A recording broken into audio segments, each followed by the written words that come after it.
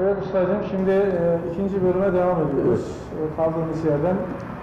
E, yetiştirdiğiniz epey bir eleman var. Bunu ben biliyorum. Pek Evet. çoğu şu anda iş yeri sahibi, fabrika sahibi. E, pek çok insan da halen çalışıyor. Kimileri emekli oldu. Bu konularda içerisine alacak şekilde bir e, özetleme yapabilir misiniz? Yetiştirdiğiniz insanlarla ilgili. Her yıl dört çırak aldım. İlkokulu bitirdim. Sevdiğimiz, saydığımız dostlarımız, evlatlarını aldık. Aldık yanımızda çalıştırdık. Alırken şartım şuydu. Kardeşim bunun velisi kim? Evvela velisiyle tanışmak istedim. Onun telefonu lazım. Onun telefonunu aldım. Efendim, şeysini aldım. Çocuğa dedim ki arkadaş, benden hiçbir zaman izin istemeye gelme. Benden izin yoksa. Velisine dedim ki arkadaş, senin çocuğuna eğer bir yıllık izin ihtiyaçsa geleceksin. Kardeşim benim çocuğumun bir yıllık ihtiyacı var. Ben bunu alıp götürüp geleceksin. Alıp götüreceksin. Dediğin zaman da çocuğunu alıp geleceksin. Bir, usta niye böyle telefon numarası istiyorsun? Kardeşim, sabahleyin sen evden çıkıyorsun. Çocuk da evden çıkıyor. Nereye gidiyor? Ustanın dükkanına gidiyor. Ustanın dükkanına çocuk gelmedi. Nerede? Başına bir kaza mı geldi? Evet, Çocuk itlikte kopukta mı? doğru. Onun için gelmediği an öğleden evvel ben sana çocuğu haber etmem lazım. Sen de çocuğun nerede olduğunu bilmen lazım. Eğer bunu sen bilirsen, ben de bilirsem, çocuk da bunu böyle bilirse, ne çocuğun başına bir kaza gelir, ne çocuk bir topu atar. Bunu bu şekilde yetiştirmemiz lazım. Ve bundan çok büyük faydalar, menfaatler sağlar. Niye? Çocuk benden hiçbir zaman izin istemeye gelmedi. Evet, yani sadece iş öğretmek değil, aynı zamanda özel hayatına da Aynen öyle. sahiplenme konusu gündeme Çocuğu aldım. 15 gün takımı tezgaha gösterdim. Çaycıyı öğrettim. Bakkala gideceği yeri gösterdim, söyledim. 15 gün sonra aldım dört çocuğum. Birini testerenin başına, birini matkabın başına, birini frezerin başına. Bunlara hepsini diktim. Bir yıl sonra bütün tezgahlarda çalışır hale getirdim. Zaten çalışmayacak kabiliyeti olmayan o sıkıntı içerisinde koydu kaçtı. Gerçek çalışacaklardan Allah razı olsun. Gerçekten bir adamları yetiştirmeye gayret ettik. Çocuk askere gidinceye kadar yanımızdaydı. Askere gideceği sene müşterinin ve çocuğun başına durdum. o işe ne yapılacak? Kaç para alınacak? Pazarlığını yaptırdım. Hangi malzeme kullanacak? Bir yıl çocuk başında durmama rağmen anam çocuk pazarlığı yapmasını, hatalarını giderdim. Askerden geldiği zaman çocuk dükkan açacak kapasiteye getirdim. Maşallah. Evet. Çocuklar Allah razı olsun bunlar şey yaptılar. Askerden geldiler. Geldiler usta ben dükkan açacağım. Gittim önüne takımını tezgahını buldum. Dükkanını buldum. İşini ayarladım. Daha hala şu zaman yanıma çıkarlar gelirler. 60'ın üzerinde kalfam var. Bu şekilde yetiştirdim. Bundan 12 sene evvel Konya'dan 18 tane arkadaş İstanbul'da Tezmaksan'a seminere gidiyorlar. Evet. Seminerde adam dersi verir, işi bitirir, son tatile ayrılacaklar zaman ya diyorlar, neresiniz Konya'nın? Konya'da benim tanıdığım bir arkadaş var, tanıyanınız var mı? Kim hocam? Mehmet Ali Sabir, Mehmet Ali Sabir deyince 13 tanesi ayağa kalkıyor, benim ustam diyor. Bir büyük mutluluk. Adam diyor, aptallaştım diyor. Bir büyük mutluluk. Oğlum, bu adam okul mu demiş, 18 kişi de 13 kişi. Hocam, bu adam senede 4 çırak alır. Efendime söyleyeyim, askere gidince kadar yetiştirir, askere geldikten sonra onları almaz. Anlatabiliyor muyum? Ve hepimiz de dört dörtlük yetiştirdik. Biz o hepimiz onun yanında yetiştik. Onun kalfasıydı, onun çırağıydı. Bu adamdan bu şekilde. Netice İstanbul'a gittim. Ya de ne kadar çırak yetiştirdim. Hayır ona ne hayır. Ya de böyle böyle de 18 kişi geldi dedi. Evet. Onun için ustam değil dedi. Ben de aptallaştım. Ne diyeceğimi şaşırdım dedi. Bunun içinde yurt dışında, yurt içinde gerçekten yani piyasada dört dörtlük arkadaşlarımıza Sabil'in kalfası mı diyorlar. Maşallah. Görenler Sabil'in kalfasından başkası bu işleri yapmaz diye bu şekilde Ne büyük tehdit ediyorlar. mutluluk, ne Elazığ. büyük mutluluk. Gerçekten çok büyük mutluyum. Kazandım kazancım, fabrikam, işim, aşım hepsi bir tarafa yetiştirdim çocuklara. Gerçekten iftihar ediyorum. Akış Hüseyin var. Asansör parçaları yapıyorlar. Evet. Aşağı yukarı Konya'da bayağı bir sayılan sevilen Türkiye genelinde yurt dışında çalışan bir arkadaş. Maşallah. Akpınar Ömer var. Plastik borular üzerinde, Ereğli yolu üzerinde 35 bin metre yerden anlatamıyorum. Orada plastik boruyla uğraşıyor. Bu çocuklarımız efendim mesela. Talip Yenilmez var. Piyasada freze işleriyle uğraşan efendim mesela. Ömer Çatalgül var. Ziraat aletleriyle uğraşan. Bunun gibi 60'ın üzerinde kafa yetiştirdim. Bunlar ilk akla, akla gelenler oldu. Akla gelenler, efendim mesela, piyasada çalışıyorlar. Ne kadar dua etsem onlara, onlar da bana dua ediyorlar. Onların sayesinde bugünkü bu yaşları, bu zamanı buldum. Allah'a şükürler olsun. Hepsi iftihar edilecek insanlar. Bunlar parayla, pulla satın alınan şeyler değil. Gerçekten yapılması gereken şeyler. Kendim şuradan başlayacağım. Teknoloji. Teknolojiyi takip etmek gerekiyor. Kendim ilkokulu bitirdim. Diğer okula gidemedim. Akşam sanat okulu vardı. iki senelik orayı takip ettim. İki senede oradan diploma aldım. Ondan sonra 72 saatlik kurslar açıldı. O kurslara devam ettim. O kurslarda kurs birincisi oldum. Onlara birer saat aldım. Ve onların çok büyük faydalarını gördüm. Bir adamın okuması, tahsili, bilgisi, bilgisiz bir insanın hiçbir şey yapması mümkün değil. Doğru. Evvela bilgi lazım. Elazığ. Okumamız, okutmamız lazım. Şu dünyaya ayak uydurmamız lazım. Bir Almanya diyoruz. İnsan şöyle bir inceleyecek olursa, geçmişini, bunlar hep yaşadığımız, yaşanılan, yaşanmışları öğreneceğiz. Adamlar Rusya'ya harbe giriyorlar. Rusya'da harpte makineleri doluyor. Adamlar 15 gün içerisinde susuz motor cepheye sarıyorlar. Bu bir insan değil de nedir bunlar? Yani bu, bu bir insan gücü değil de nedir yani? Yani bizim Almanlardan geri kalan eksik tarafımız ne var? Bütün mevzu çok özür dilerim. Çok çok özür dilerim.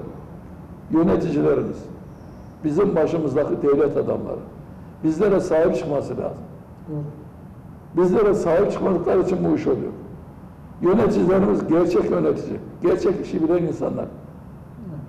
Oğlumu okuttum. Niye okuttum? 62'de dükkan açtım. İkinci el tezgah alıp satmaya başladım o gün. Alıp sattığım tezgahlar hep yurt dışından gelmiyor. Bu tezgahlar harap olmuş, perişan olmuş, atılmış, ortaya çıkmış. Ben bunları ayağa kaldırdım, piyasaya çalışmaya soktum. Ve düşüncem şu oldu. Bu tezgahların parası nereye gitti? Hep Türkiye'den dışarıya çıktı. E, içeriden parayı ver, ver, ver. İçeride para nereden gelecek? Dışarıdan senti para temin etmesi. Bu olması mümkün değil. Buna düşünerekten oğlumu okuttum. İlkokulu okuttum, ortaokula başladı, dükkanıma geleceksin dedim. Cumartesi günleri dükkanıma geldiyse, cumartesi günü akşam haftalığını verdim. Gelmediyse pazartesi günü, oğlum cumartesi günü neredeydin? Yoktum. Kusura bakma oğlum haftalık kesildi, kasa kapandı. E, çocuğum ister istemez dükkana geldi. Ortaokul bitti, meslek lisesine verdim. Meslek lisesini dört sene okudum. Üç sene meslek lisesini okudum. Bir sene de tekstilden böyle oturdum. Okul bittikten sonra baba senden bir ricam var. Oğlum ricam kabul. Baba senden ne isteyeceğim de kabul ediyorsun? Yavrum ricam kabul. Baba ne isteyeceğim? Baba dükkana gelmeyeyim dedi. E baba ne dedi? Benden başka isteyeceğin ne var? Eve giderim, çekerdim çıkartmadan evvel arabanı anahtarı. Çocuklar arabanın anahtarı burada gidecek üzere söyle götürün. Kıskanmadım çocukları. Allah razı olsun. Onlar da beni hiçbir zaman bir sıkıntıya sokmadı. Elhamdülillah. Elhasılı. Dört oğlum var. Elhasılı. Büyük oğlumu Haşim Hoca'nın okuluna gitti. Kursuna gitti. Orada kursu kazandı. Haşim Bayram'ın. Haşim Bayram. Komutan, evet. O zamanı çocuk yetiştiriyordu. Bir dershanesi vardı. Orada yetişti. Allah razı olsun. Hani orada yetişti hocam. Kendisinden bir ricada bulundum. Oğlum ikindiyle akşam arasında derse çalışmayacaksın. Sabah namazına kalkar, namazı kılar, kahvaltı yapar, doğru dershaneye. Dershaneden çıkar öğlen üzeri, yemeğe yer, namazını kılar, derse oturur. İkinden ha gezer, fakat bir türlü anlatamadım. Yani akşam, ikindiyle akşam arasında çalışmamızı anlatamadım. Ne diyeceğim?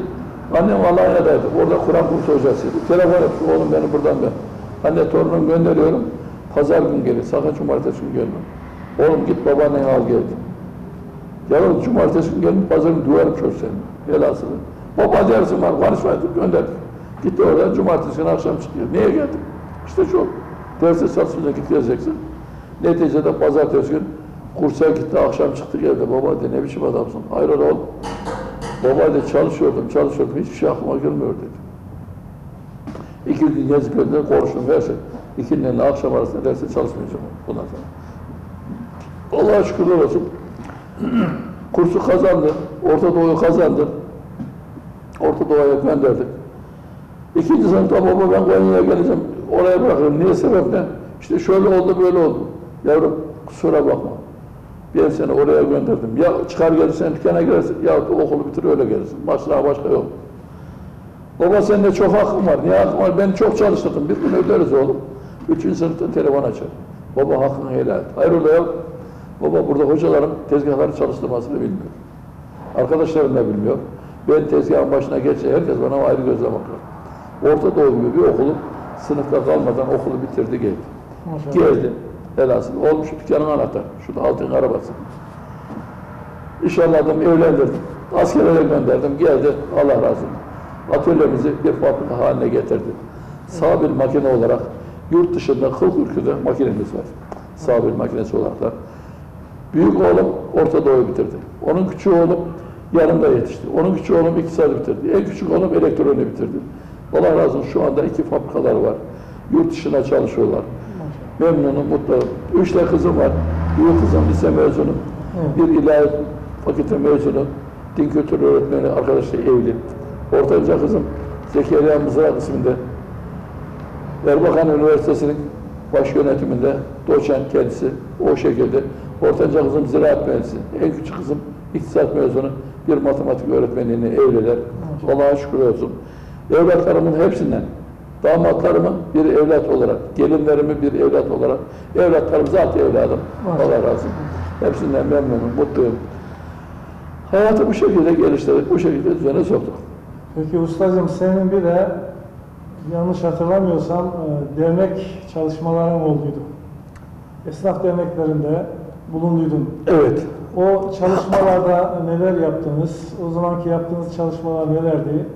E, Günümüze kadar bir gelişme oldu mu? Ve günümüzdeki yaptıkları faaliyetler hakkında bir yorum yapar mısın?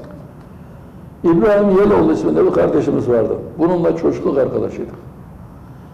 Sonra bir akşam sinemadayız. Tesadüf olarak o da oradaymış. Birlikte olduk.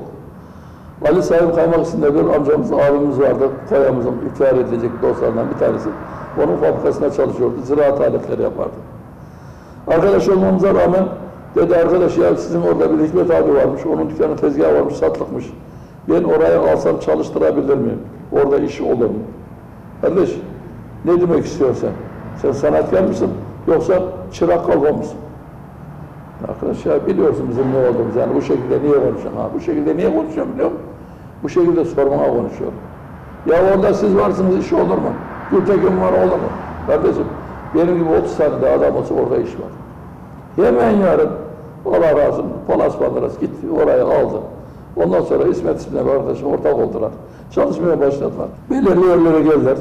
Çok faal, zeki, karakterli bir gazetecimiz. Velhasılı. Orada belirli bir zaman yönetimde kalmış. Ondan sonra arkadaşlarla anlaşamamış. Yeniden kadro kurmak istedi. Bana bir telefon etti. Sabit buyur.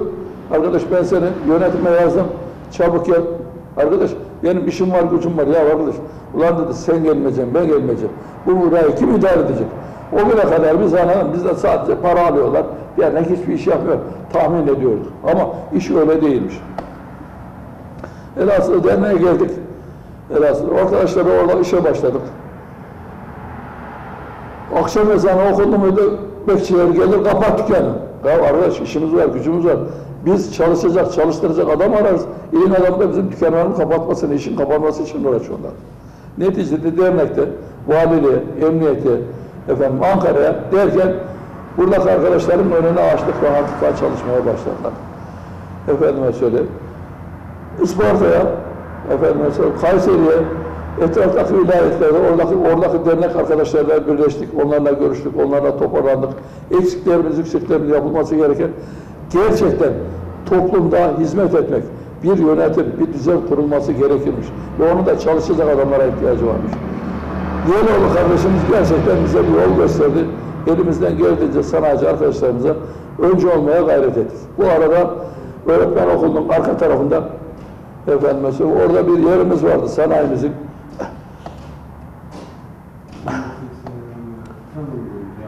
Sanayimizin yeri vardı. Orayı satıldı. Şimdiki dernek yeri yapıldı. Fakat yerimiz bizim küçüktü. Bakırcıların orada yeri vardı. Bakırcılar sonra orası büyük geliyordu. Mehmet Ali Parıltı isminde arkadaş, iki arkadaş. Oraya kefil olduk. Bankadan kredi çektik. Oraya aldık. Derneğimizin odalarını genişlettik. Ve orada çalışmaya başladık. Dernek demek çok güzel bir şey demek. Benim derneğe girdiğimde hayatımda çok büyük değişiklikler oldu. Çok güzel şeyler oldu. Evet. Neler oldu? Evet. Adam baba işin başında 6-7 tane evlat çalışıyor pırıl pırıl işin arkandan gelmek mümkün değil. Her çocuklar ne yapacağını fakat baba çocuğun birini masanın başına oturtup oraya yetiştirmediği için baba ölünce 6 ay sonra ne iş kaldı ne dükkan kaldı ne darmadağın duman oldu. Evet. İnsan evladına belirli bir zaman içerisinde yetiştirmesi lazım, oraları vermesi lazım. Bu benim için en büyük bir rehber oldu. Kendim çocuklarım geldi, oğlum Orta Doğu'dan geldi, öbür çocuklar geldi, askerden geldiler. Dükkanımı onlara devrettim. Onlara hisse verdim. Elazığ'da 15, yüzde 15'er hisse verdim. Ondan çalışmaya başladılar. Ben de kendim tam başımda çalışıyorum. İki çocuğum var, onlar da okuyorlar, askerlikleri vardı, onlar da geliyorlar derken orada bana en büyük önder oldu, en büyük düzen oldu. Onun haricinde yapılması gereken birçok şeyler. İş bakımından kalitesiz iş yapılıyor. Adam rastgele iş yapıyor. E, müşteri mağdur oluyor. Efendim söyleyeyim. İş perişan oluyor. Adamın işi mağdur oluyor. Bunlarla ilgili olarak da düzenlemeler geldi.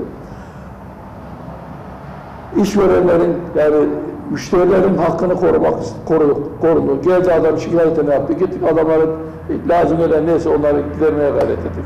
Sanayide gerçekten belirli bir çığır açtık. Efendime söyleyeyim.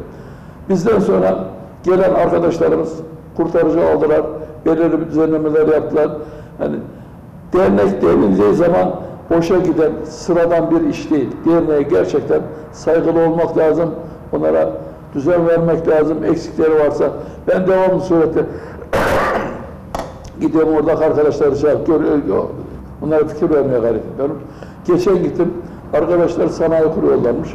Sanayide çıraklık okulu kurmaya gayret etmişler. Dedim arkadaş burada çıraklık okulu olmaz. Sebep? Burası sanayi mi sanayi? Buraya bir sanat okulu lazım. Niye? Sanat okulunda devletin bir sürü bütçesi boşa gidiyor. Ama sanayiyle sanat okulu birleşecek olursa sanayi okulun vermiş olduğu sigortadan çocuklardan faydalanmış olur. Sanayi, okuldaki çocuklar sanayiden faydalanır, piyasadan yani piyasaya çıkmadan piyasadan faydalanmış oluyor. Okulun verdiği belirli bir düzen var, öğretmenlerin verdiği belirli bir düzen var. Ama sanatkarın vermiş olduğu düzeni okulda veremezler. Okulun verdiği disiplinle sanatkar veremez. Çırak okulu geldi, açıldı. Gittik arkadaşlarla götürecek. Ya ne yapacaksın? Niye götüreceğiz?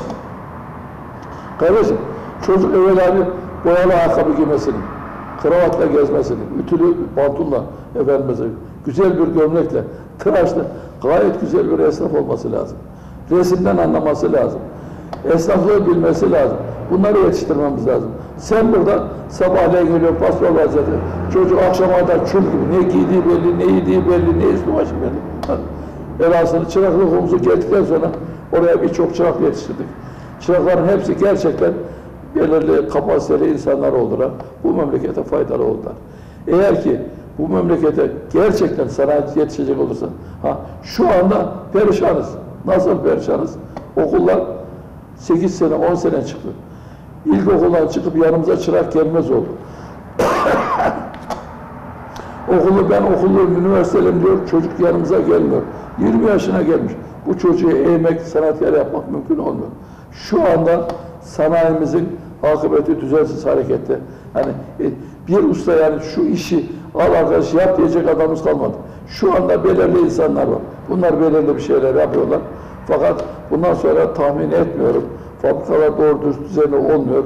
Okullarımızda doğru dürüst adam yetişmiyor.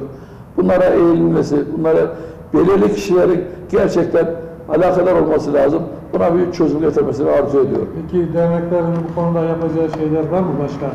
katkılar olabilir. Olmaz, O olur. zaman sadece devlet olarak düşünmeyelim. Abi olmaz var, Şimdi- odası Abi var. sesini duyurabilmek için sen şahsen sesini duyurman mümkün değil. Ama dernek gidiyor başbakanla da konuşur. Reis Cumhuriyet çünkü dernek başkanı, dernek başbakanla da konuşur. Efendim söyleyeyim. Diğer bakanlarla da konuşur. Derdini anlatmaya çalışır. En azından orada bir kariyeri var. O kariyerini kullanıp çözüm getirmek lazım. Yani dertlerimize bir çözüm getirmeleri lazım. Yani şu anda söyleşinizde ben şunu anlıyorum ki tam etkili olamıyorlar. Aynen öyle. Çünkü getirmeleri lazım dediğin an şu anda etkin bir aktivite gerçekleşmiyor demektir. Bilemiyorum, anlatabiliyor muyum? Dediğim gibi Ya da varsa bizim haberimiz yok. O- Aynen aynen o şekilde. Bunlara eğilmek lazım, alakadar olmak lazım. Evet. Peki e, ustam e, bu e, sanayiye hizmet etmiş bu eskimeyen ustalarımızla ilgili eksik gördüğün bir şey var mı? Yapılması gerekip de yapılmayan bir şey var mı? Şimdi Umduğun, beklediğin bir şey var mı? ustalarımız hepsi belirli bir yaşlara gelmiş. Epey var çünkü. Çünkü bayağı ustalarımız var. E, belirli bir yaşa gelmiş. Fakat bu arkadaşlarımızın çoğunun ben yoruldum, çekil, çek kenara çekildi. Halbuki kendisine çekilmemesi lazım. Evet. Benim şu anda 78 yaşındayım. Şu anda dükkanımdan ayrıla, ayrılamıyorum. Niye? Evvela eşimle, dostumla görüşüyorum. Konuşuyorum. Onlarla hemhal ediyorum. Şu anda Yusuf Yeloğlu kardeşimiz bize bir öncülük yapıyor.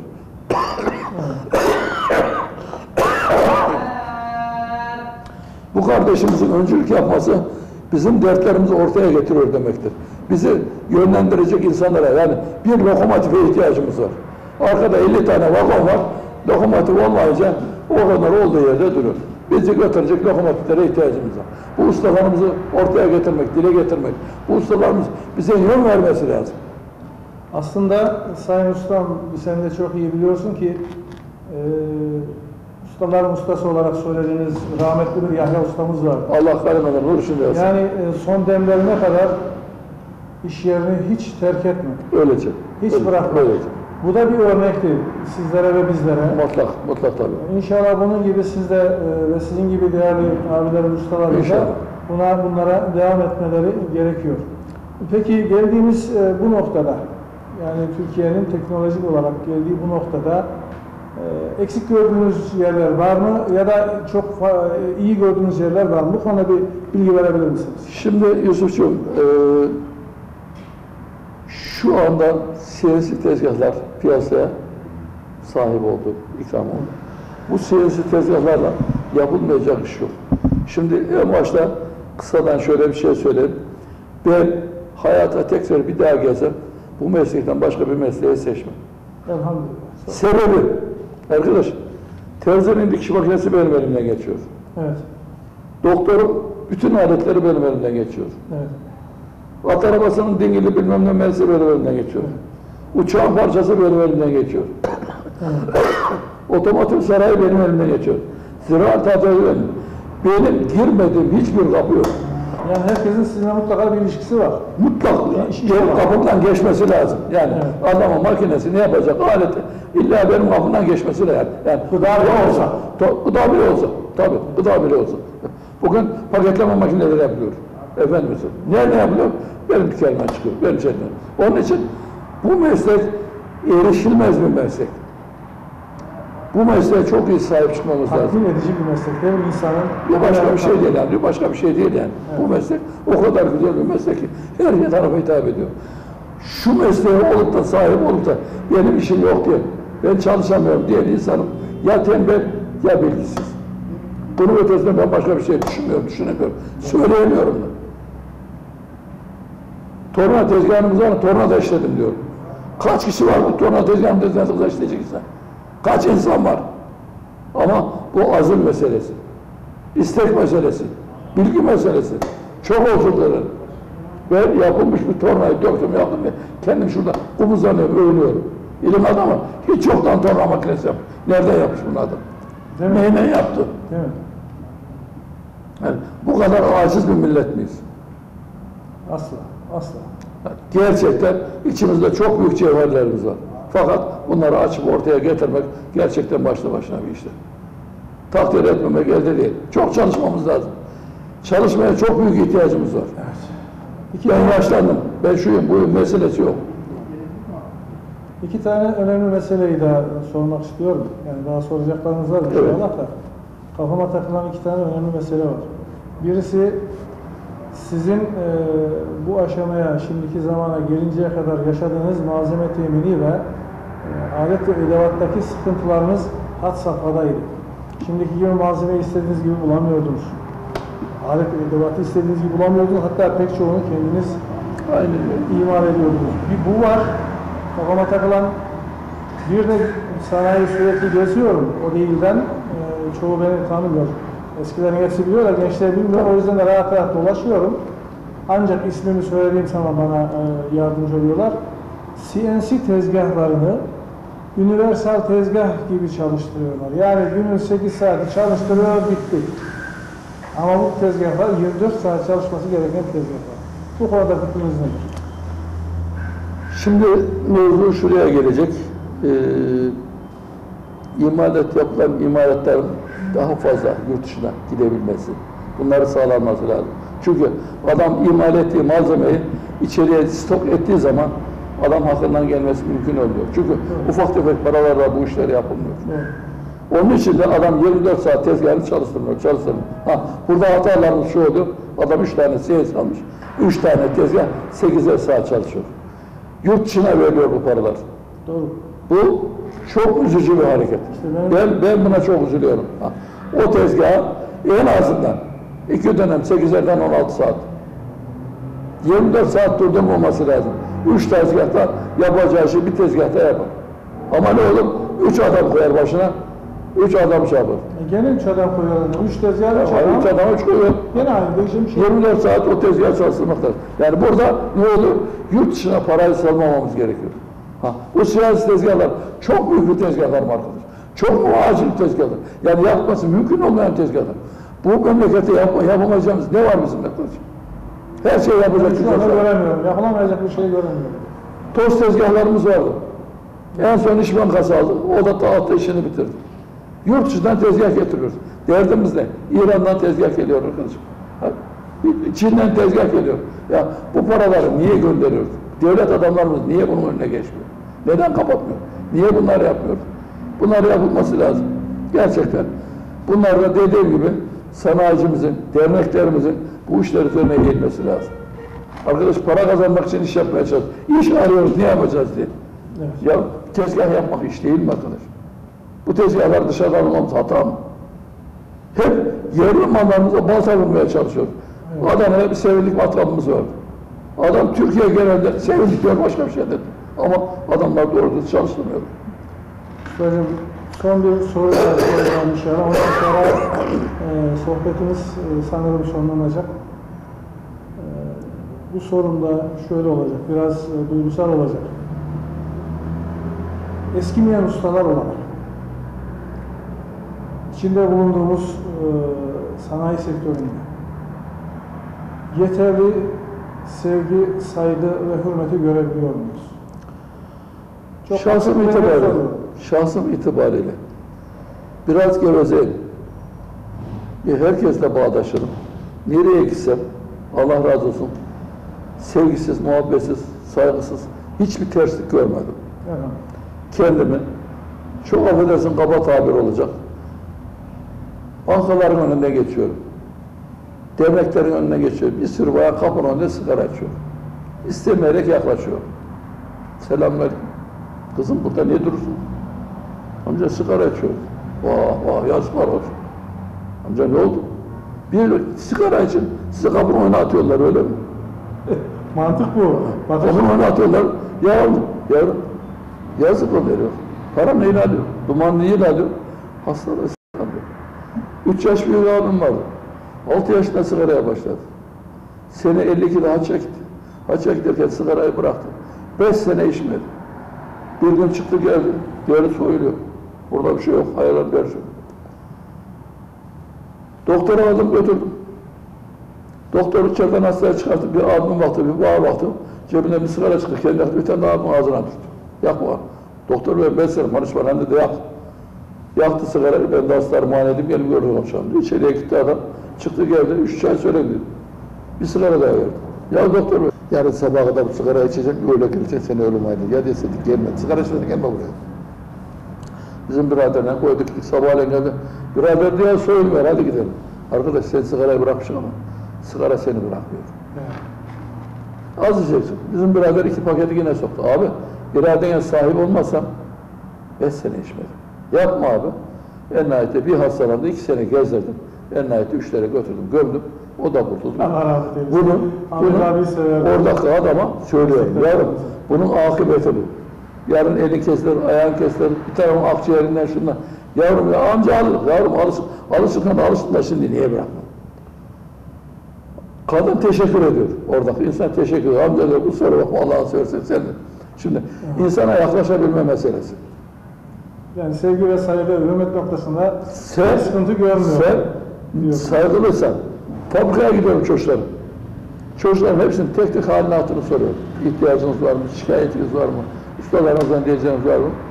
Baba diyor, dükkana girdi mi diyor, bütün kalfaların şekli, şemali değişiyor, çalışma sistemi değişiyor. Niye o? Vallahi bilmem diyor. Moralleri yerine geliyor. Şimdi insan kendisi saygılı olursa, Güzel. saygı her tarafta gör, hiç Çok. çekinme. Çok. Şuraya geliyorsun, gidiyorsun, dolaşıyorsun. Adama ismini söylediğinde sana nasıl hareket ediyor? Aynen saygılı hareket ediyor. Yani insanın kendinden başka hiç kimseye bir şey arama. Allah onun için. Ben memnunum. Bütün çevremden, bütün sevenlerimden. Hepsinden Allah razı olsun. Evet. İnsana yaklaşabilmek meselesi. Hüseyin Şakrak diye bir kardeşimiz var. Çocukluk arkadaşım, baba yanında akşam saatleri beraberdik tabii. Fello tezgahı alacak. Öyle bir fello tezgah ki erişilmesi mümkün bir şey değil. Evet. Mars sinemaların o herisçileri var ya, tezgahı o şekilde açıyor. Çakmış var ağzına, her şey var. Çocuklar amca ne yapacağız? Çağırdılar. Bu tezgahı aldık arkadaşlar. Ya sahibi aldık bu tezgahı. Niye? Peki. Ya düz ben düz çalışırım onu. Nasıl çalışsam o benim diyor. Aldık tezgahı, dedi, hala çalıştırır. Adamlar çocuklar ne yapacaklarını şaşırdı. Geçen gün bir işim oldu, torna işim, oraya gittim, şunu yaptım. Vardım, Bulgar tezgahı çalışmıyor. Niye çalışmıyor? Onu yaparken söktüm, ben orada Bulgar tezgahının bir vidası düşmüş. Evet. Hay Allah ya. Şimdi insan meslek sahibi bilmek lazım. Doğru. Sanatkar olması lazım. Vardın ya, işi bitirdi. Yani mesleği sevmek, ona sahip çıkmak Aynen, ve aynı aynen. meslekte sürekliliği sağlamak çok önemli. Şu tezgah hurdaydı. Bunu 5 bin liraya aldım tezgah. 24 bin lira masraf ettim. Şimdi cincik gibi tezgah oldu. Ama tezgah oldu. Emek çektim. Ayağıma. Faydalı olacak bak. Bir hurdaydı. Bunu döküme atılacaktı. Ben bunu faal vaziyete getirdim. İftihar ediyorum. Bu kullanılacak hale geldiği için de bunun yerine alınacak, tezgaha verilecek para yurt dışına gitmeyecek. Hadise bu kadar basit. Kazandık. Bu kadar basit. Yani bu memlekete çok hizmet etmemiz lazım. Çok çalışmamız lazım. Evet, Allah hayır eylesin. Amin. Önerleriniz, verdiğiniz gibi- yönlendirmeniz gayet güzel oldu. Devlet abilerimizden çok çok rica ediyorum. Ne olur, ne olur önce olsunlar. İnşallah. Bize Bu mesaj yurt dışından tezgah getirmek için uğraşmasınlar. Yurt içinde o tezgahları yaptırmaya çalışsınlar. İnşallah. Bize o imkanları tanısınlar. İnşallah. Çok mantıklı bir düşünce. Evet. Sayın Ustam, Evet. değerli ağabeyim, Efendim. Değerli sanayi önderimiz, Allah razı olsun. eski Allah- ustamız, Allah razı olsun. yaptığımız bu görüşmeler, verdiğiniz mesajlar e, ve önerileriniz için çok teşekkür ederiz. Allah razı olsun. Allah razı olsun. Programın sonuna geldik. Ee, sayın e, seyirciler, değerli kardeşlerim, e, hepinize hayırlı günler temenni ediyorum. Geçmişte bugüne kadar eğer bir yardımcı olabilirsek, bu memlekette bir hizmet edebilirsek, bir önder olabilirsek, bir arkadaşlara vesile olabiliyorsak, herkese çok çok teşekkür ediyorum. En güzel günler diliyorum. Allah razı olsun.